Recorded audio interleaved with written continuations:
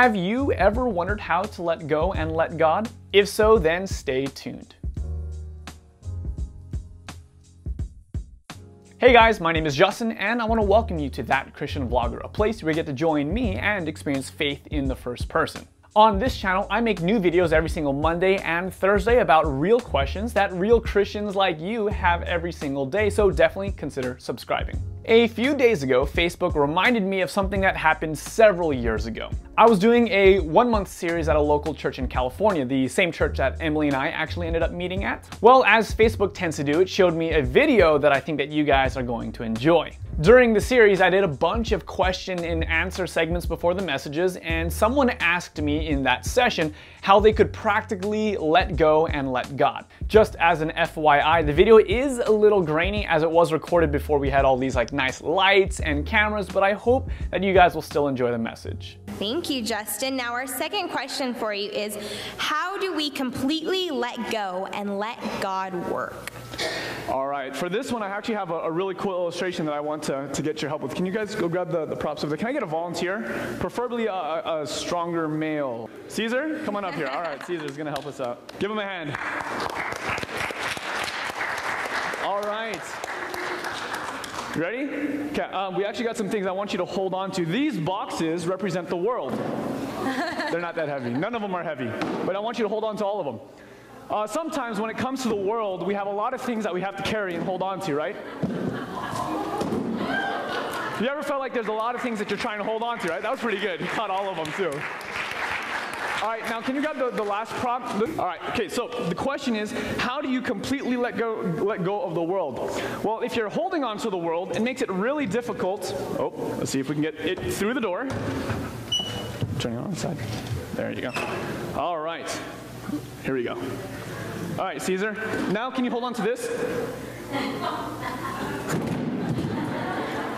That's the correct response, right?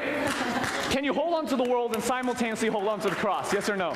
No. So if you're holding on to the world and you try and pick up the pieces of the world, it's a lot more difficult, right? So, thank you, God. You can put that down now.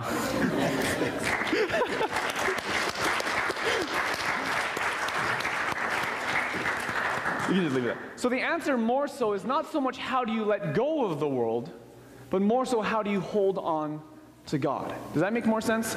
There's, a, there's an interesting story of uh, these people that were helping out with a hot air balloon. And they were holding the rope down so the hot air balloon wouldn't lift up. But unfortunately, the, the balloon got too much lift. And it started lifting even though four grown men were holding on to the ropes.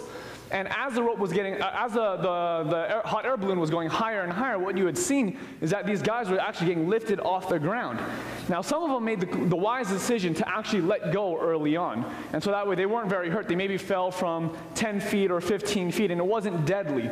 But uh, a couple of people actually held on for too long, and they were getting injured.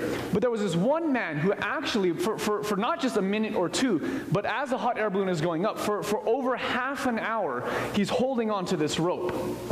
The reporters come to ask him afterwards, How in the world did you hold on for so long?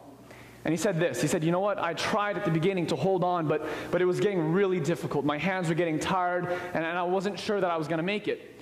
And finally, I got to the point where I realized that I simply couldn't hold on anymore. So rather than try and hold on to the rope, I grabbed the rope and I tied it to myself.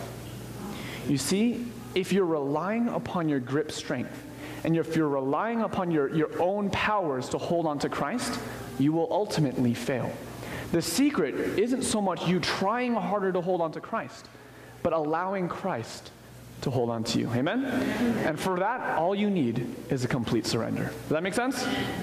Amen. All right, uh, maybe we can move this stuff to the side so we don't get distracted from the message. Thank you so much, Justin. That's it for today. I'm curious to know your thoughts. I actually have several of these kind of like throwback videos available, so if that's something that you guys would like to see, just let me know. Or was the video quality just, you know, too distracting and you just prefer me to make newer videos here in the office instead? Also, if you would like me to answer one of your questions, send them over to me on Twitter at jkhoe, and I'll be doing a few dedicated videos to the questions that I get on Twitter. But until next time, I'm that Christian vlogger, and I'll encourage you to experience faith in the first person. God bless.